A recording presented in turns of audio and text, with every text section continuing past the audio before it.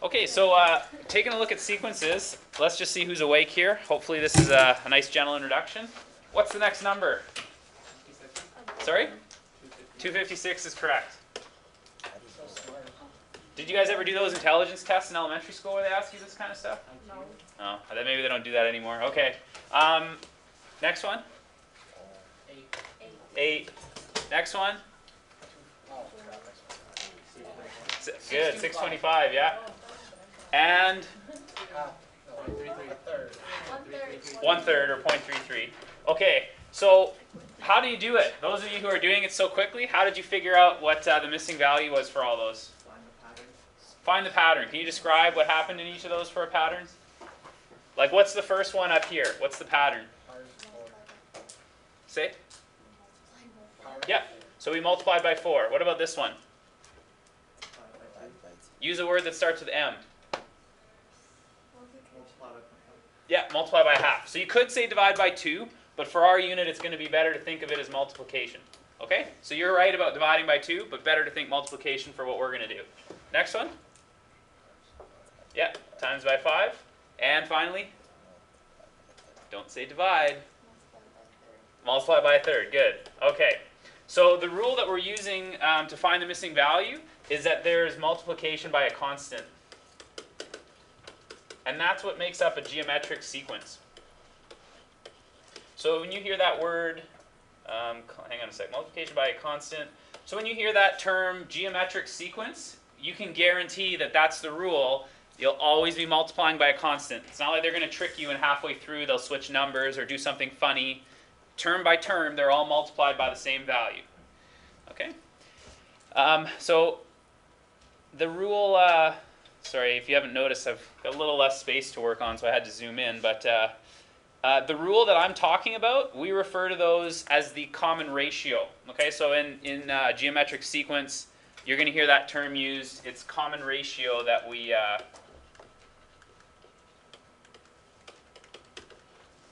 that we're working on. Maybe I'll zoom out a little bit. It's a little squished. Can we still read that? Come on, you're, you're young, right? You can read that okay? Okay. If I need more room, then I'll, maybe I'll zoom in. Uh, Okay, so common ratio, um, important term, and this is a key idea that you need to uh, remember. Okay, what does this mean? Well, let me show you back in the previous examples.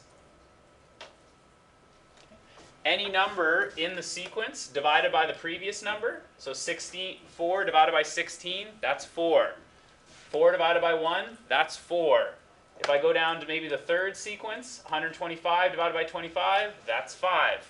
Does not matter where you pick the terms, any term divided by the previous gets you the common ratio. Okay, so whatever's most convenient for you. For example, this is pretty convenient to do. 1 divided by 3. You don't even have to reduce. Whereas this is still going to be the common ratio, but it's going to need some reducing fractions and stuff before you get your answer. Okay, any two terms will do it for you. So here's where we'd like to be headed. Can you find the 30th term in this sequence? Now I realize that you'll probably say, oh yeah, no problem, Mr. Joyce. Let me get my calculator out here and let me hit, where's my calculator? It's not funny if I do, oh, there we go. So you'll get your calculator out and you'll go uh, 4, 10, 25, you'll figure out I'm multiplying by 2.5 and you'll go 4, 5, 6, 7, 8, 9, 10, 11, 12, 13, 14, 15, 16, and all the way up till you hit 30, right? We want to do it smarter than that, though, obviously. So what we're going to do is um, try to work out the pattern. Okay. So we've already said that the common ratio is 2.5. Okay. So let's figure out some more terms in this sequence. Okay. So what's the next term after 25? 37. Keep going. What? Five. Point five? Did you just do that in your head? It's actually uh, a little more than that, Ming. I like that you have a calculator right in front of you, and you'd rather try to do it in your head. That's I admire that. Sixty-two point five. There you go. Redemption. Okay. Anybody else want some free brownie points? Sorry, DJ. Yep, that sounds right. And last one? Roger, what do you think? How come I can never get students to take notes when it's really simple? the simpler it is, the less attention I get. It's true, I know. Yes, Rod? 490? 390.625? Okay, that looks right. So, to help us find the pattern, these are the numbers, but to help us find the pattern, it's usually easier to think about what we're doing.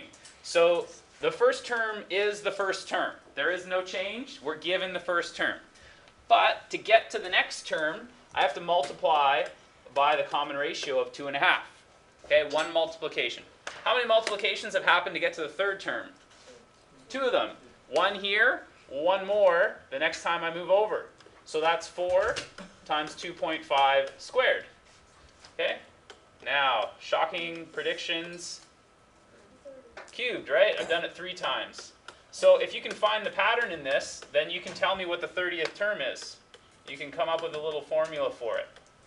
Okay. So, who's brave here? What's the formula going to look like? Awesome, Danny, go for it. Um, four times. Four Yep. times two point five to the power of thirty minus one. 30 minus 1, also known as? Thank you. Okay, yes, you're absolutely correct. Okay? So uh, if we were to put this in the calculator now, we can get it in, whoops, we can get it in, I think, three or four keystrokes of that. So 4 times 2.5 to the 29. So we end up with 1.39 times 10 to the 12th, which is plenty large. Plenty large is not an acceptable answer, by the way, on your tests. so, uh, the term formula looks like this. Term n is a r n minus 1, where a is the first term, r is the common ratio, whoops, ratio, um, n is the ter- uh, term number, uh, there's no T in number at last I checked. And Tn is the value of the nth term.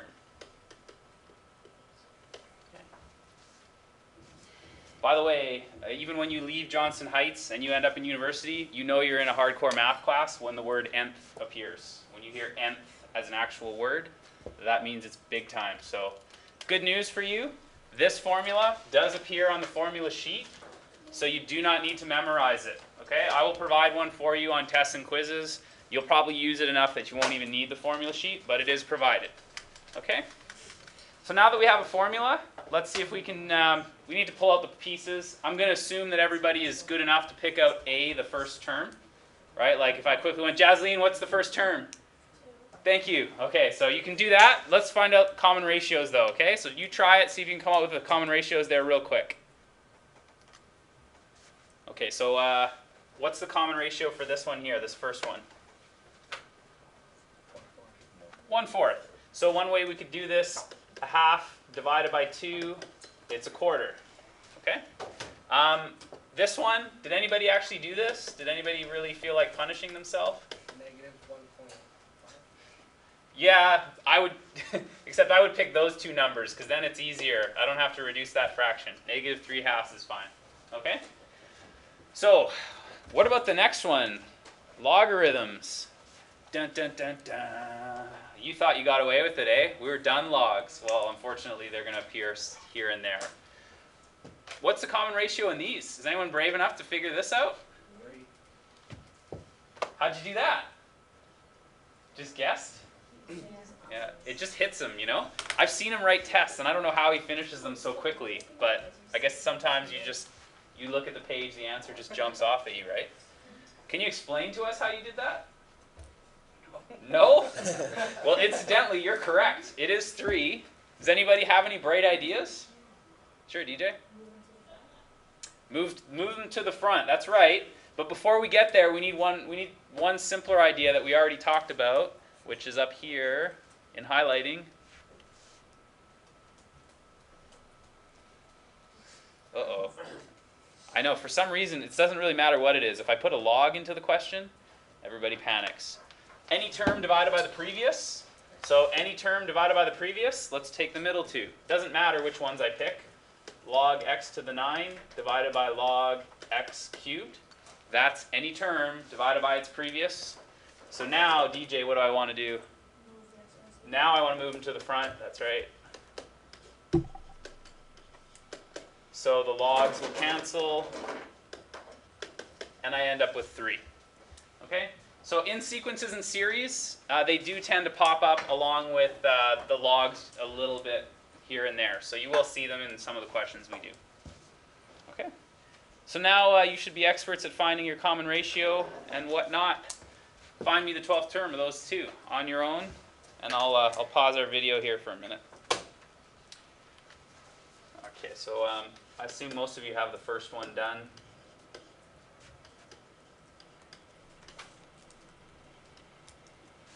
Sorry, that should be a 12 there. So this is uh, 6 times 3 to the 11th.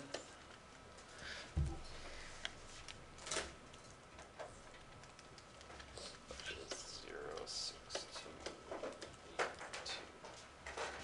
Okay, um, one thing, be careful. Sometimes if you go too quickly, this is what I see when I mark over your quizzes and homework, is that you put 12 in the same spot there. Remember, to get to term 12, you only have to multiply 11 times. So it should actually be a minus 1 there. Be careful with that. Um, in this one, term 12 will be 81. Um, let's go 24 over 36. And since I'm just looking for the answer, I don't really need to simplify that. I'll just put it in my calculator the same way. And I get uh, 0.93644261555. Okay? Questions? How do we like sequences so far? Yeah? No? Okay. so another thing that we're going to need to do with sequences, this goes up the difficulty one rung, one, one more. There's only like one more step up higher after this one. Uh, we need to figure out what term numbers each of these sequences represent. Okay, so if this is what we had for our question, then what would the term number 92, 192 be? To do this, we actually have a little exponential equation to solve. So if I know 192 is the last one, then what's the common ratio here? Do you see it? 2 is the common ratio.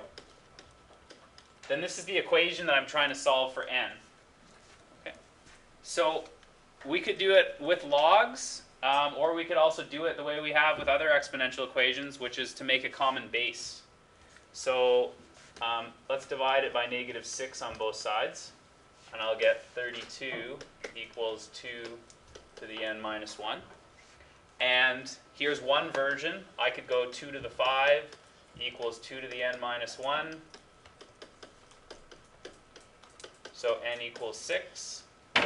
The other version, of course, would be to use logs. Maybe you really like them by now. And you say log base 2 of 32 equals n minus 1. 5 equals n minus 1. And equals 6. Okay, you could do it either way using logs or just an exponential equation. Up to you. Okay, so I'll let you uh, try solving the next one either way.